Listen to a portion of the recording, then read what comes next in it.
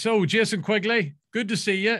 Good to talk to you. And we're going to talk on a day when you're going to get your crack at a, at a world title. Um, listen, exciting news. Um, uh, I would say you're top of the world at the moment.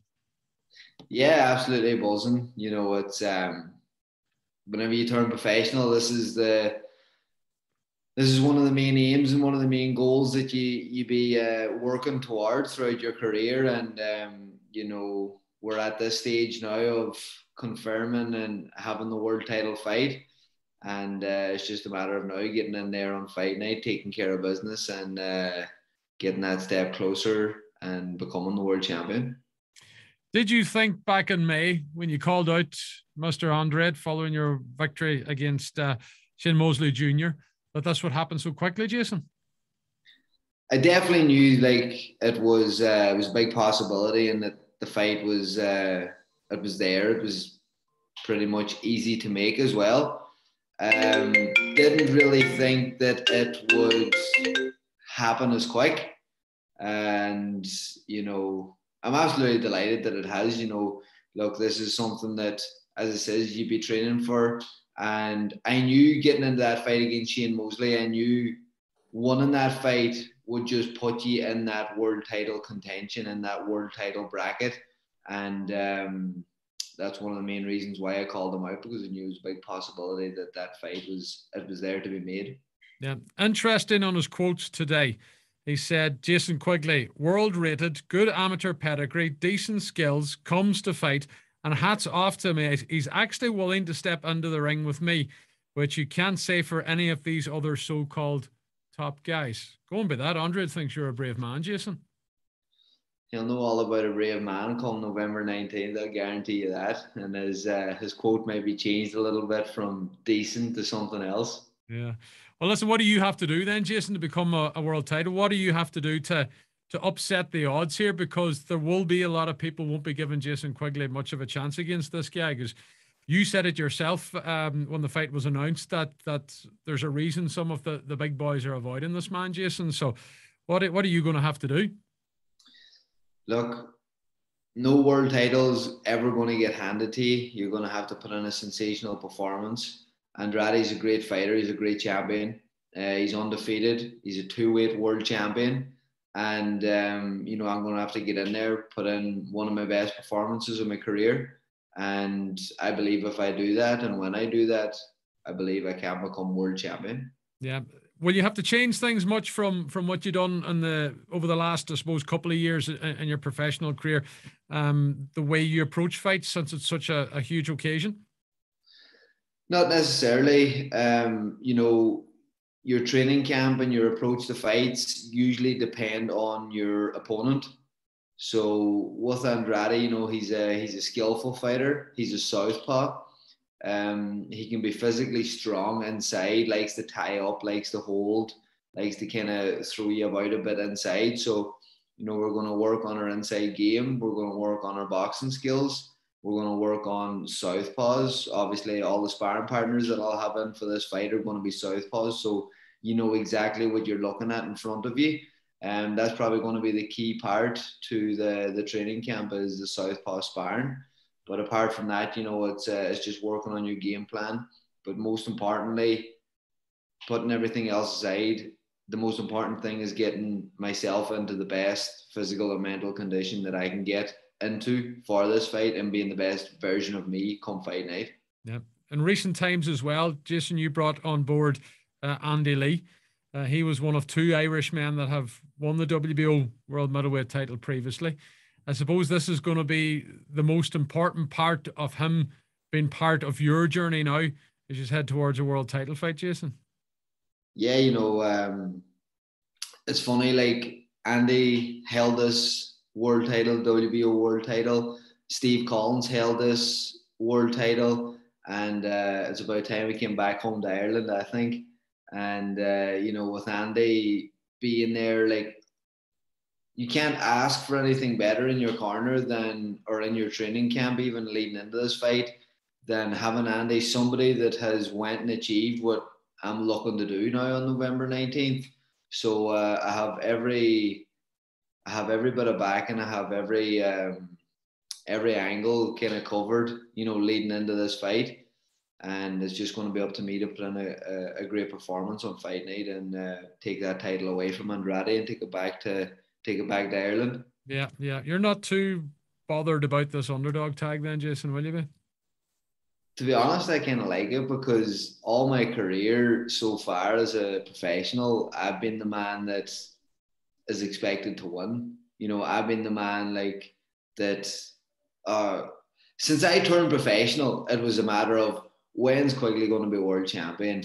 Uh, when's he fighting for the world title? It was never a matter of geez, hopefully Quigley will go on and you know fight for a world title someday or become a world champion. It was never. It was always a matter of when. Like there was always like when's it going to happen? When's he going to be a world champion?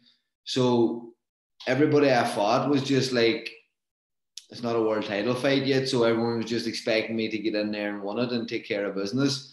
And this time around, the pressures heaped on Andrade. Like you know what I mean. There's a lot of people expecting him to win. There's uh, he's an undefeated fighter. He's the champion. He's the one looking for these so-called bigger names in the middleweight division, and what he doesn't realize is he has to get past me first. So all the pressure is heaped on him. If he can't get past me, I believe that Andrade deserves a crack at the likes of Canelo he deserved the crack at the likes of a Golovkin. You know, he, he was a two weight world champ. He is a two weight world champion. Um, he is obviously the middleweight world champion at the minute. None of these guys were taking him on. I, I believe that he deserved his chance at them, but his only bargaining to get that fight was being the world champion and having that world title fight, world title belt. He hasn't got that fight, and I believe that um, he won't get those fights in the future again because his only bargaining is the world title, and I plan on taking that from him. Yeah.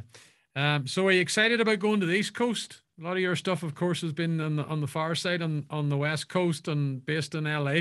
You're getting closer to the to the real hardcore sort of Irish communities, aren't you, Jason? And, ah, and... Uh, without a doubt, you know this is something that's going to be very, very special. Geographically, Andrade is going to be the, the home fighter. But I uh, I truly and deep down believe that um, come fight night in that arena, there's going to be uh, the Irish fans are going to outweigh the Andrade fans big time, and uh, it's really exciting. You know, you've know I've known for a while now that this fight was was pretty much a done deal.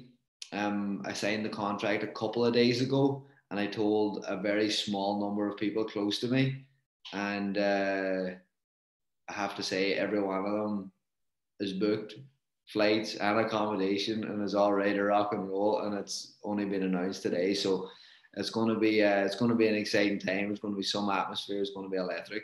Yeah and uh, i'm sure there'll be a few more. They'll be looking to book jason in the in the days ahead as well. How how did you manage to to keep yourself calm around all this because you have known for for as you said a few days for a while so how, how do you stop telling people? What do you what do you have to do to sit in this? Well, like to be honest, everyone knows over the last two years I've been linked to a lot of big fights. Um, they haven't kind of really, they haven't happened. Um, so it was kind of easy for me this time around because I didn't want to be like the boy that cried wolf, saying, "Oh, big fight lined up, big fight," and I'd fall through again. So I was so hesitant in telling anybody. I was so hesitant in even telling myself that this is practically a done deal. Like we had verbally everything had been agreed for a while. We just hadn't got the contract signed, but still in my head, I never let myself once tell myself that this is happening, you know, this fight's on. Until I signed the contract a few days ago, I was like, I was still a wee bit like, is this is this happening now? Like, is this is this really there? Is this really on? And uh, I was just so delighted today for it to be able to be announced and, you know, just be able to, tell the people that's close to you that it's definitely on now and, you know, let's get ready to rock and roll. Okay. What's, what's the next seven weeks going to have then for you as you lead up to this? What's, what's the plans? When do you head to America? When does the really kick in for you, Jason? Yeah, well, look, um, as I said, I've known about this fight probably about a month or so now. And uh, me and Andy have been training flat out in Dublin this last four or five weeks. Um, every session we've been doing has been Andrade in mind, um, tactically working to beat Andrade, get the victory against him. And um, you know, not a lot is going to change between now and now in the fight. We're just going to keep the head down. We're going to keep working hard. We'll work out now once everything has been officially announced. We'll work out um, this week coming what uh, days and dates we're going to be flying into the states and you know getting all those little bits of camp taken care of. But uh, you know, I have a great team around me, and uh, they're going to take care of everything. So I just have to get into the gym, stay ready, stay focused. Okay, listen, Jason. Um, delighted uh, for you that you're going to get your chance at a, at a, at a world title and the entire county and I'm sure the rest of the country will be behind Jason Quigley when he steps into the ring in, in the middle of uh, November next month. Listen, good luck with the training camp. I'm sure we'll be talking again closer to the fight, but uh, brilliant news today. Well done and, and good luck with the camp, Jason. 100% Ashton. Thanks very much. Appreciate it.